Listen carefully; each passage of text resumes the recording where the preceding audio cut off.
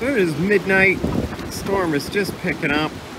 You can see the waves coming in opposite way of where they normally should be coming. They're coming out of the basin today and everything down here is kind of roped off. I guess they really don't want you walking on the uh, boardwalk. I was hoping to go take a look at that big sailboat over there. But not too bad so far. Pretty big wake though for the harbor, but nothing too major see by the catamaran kind of bobbing up and down. Some good waves in the harbor. Everything over here is kind of uh, tied down pretty well. See the trees up on my building there moving around. A rain so far. So we're by the ferry terminal. She's blowing pretty good. Near hotels kind of put sandbags around their door, so hunker down that building. You can kind of see them all over the place, just putting sandbags by every door because of all this water coming down the. Ah, they did it too. This is already broken. You see the glass on the ground already. Something blowing way over there on the road. You can hear it. Like sheets of metal this is kind of a big wind tunnel for here. Holy shit. It's a pretty big wind tunnel. Almost lost the hat. It's a good catch though. So this is the street right below my place. Kind of behind this wall. But not too much has happened. We're gonna lose a lot of leaves though, unfortunately. I don't know if I'd be parking on the street here. I think I would have went into one of the garages for the night. I guess. Two o'clock in the morning. Wind still picking up.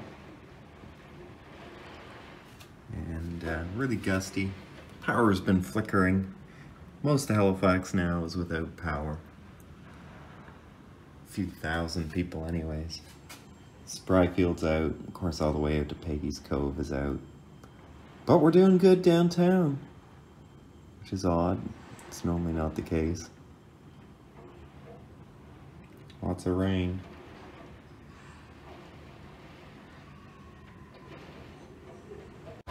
Alright, it's now noon. I'm just heading out to go film all the damage and look around and see what's going on. You can see even the color of the leaves, and a lot of these leaves have fallen off. This tree looks completely bare now.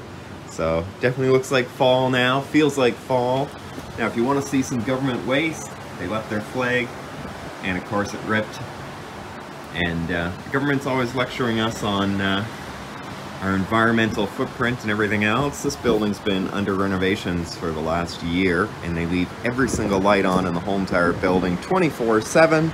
Even the lights are on now in there. Um, so I really do wish our government uh, starts uh, participating on what they're talking about and preaching to everyone else, but I don't see that happening anytime soon. Let's go check out the damage and see how prepared they were on that catamaran. Looks like a French boat on the French name, but right in the middle. Very smart idea. Well tied in there. Guess you never know how bad a storm's gonna be until it comes, right?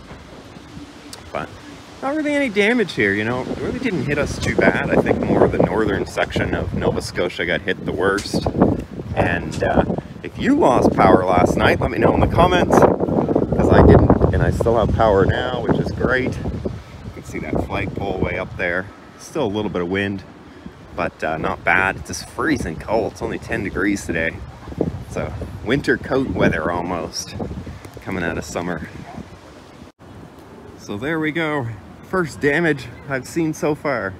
One tree on a Gatorade machine. Probably better for the kids anyway, not to be drinking Gatorade with all the sugar. So there it is. Downtown Halifax did have damage.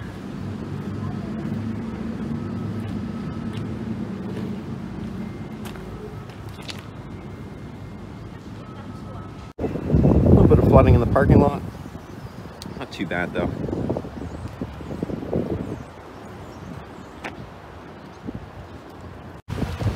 more tree branches down. Some of the seaport signs are ripped. But all in all, this storm really wasn't all that bad at all. Not all that much damage. You know, we've seen a lot worse. You know, White Juan and uh, one when I was in university. It was like two, 2008, 2009. We had a bad one in September where all the trees came down in Point Pleasant Park. And uh, I was in the army at the time. We got called in to start uh, clearing the streets of trees.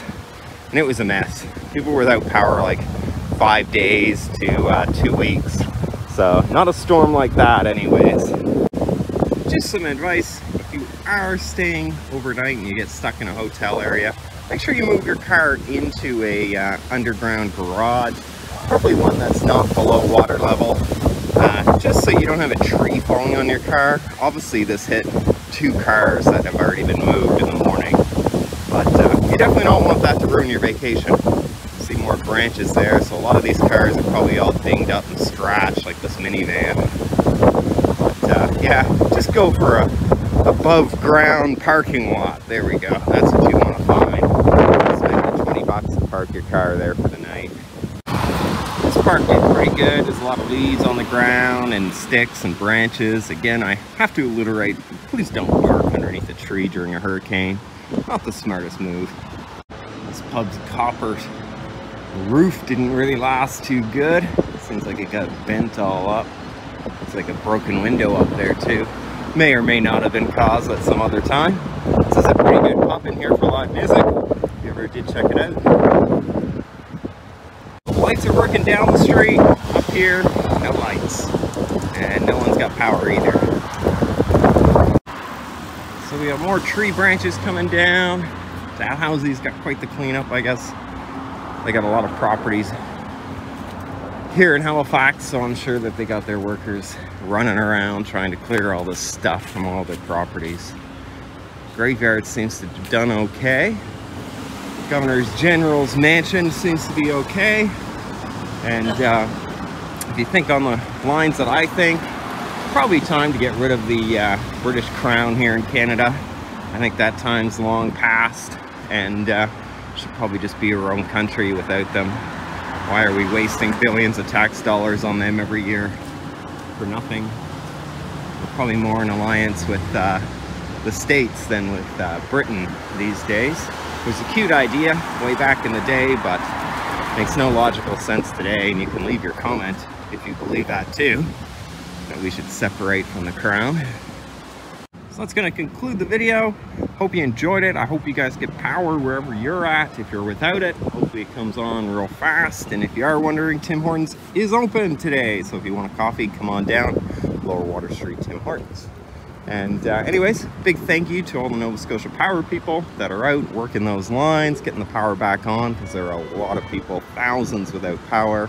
Uh, I don't think the storm was too major, but definitely hits the infrastructure for the power grid. So hats off to those guys and women who are working on those lines and uh, keeping the power going. So that is it for the first hurricane here in Halifax 2022.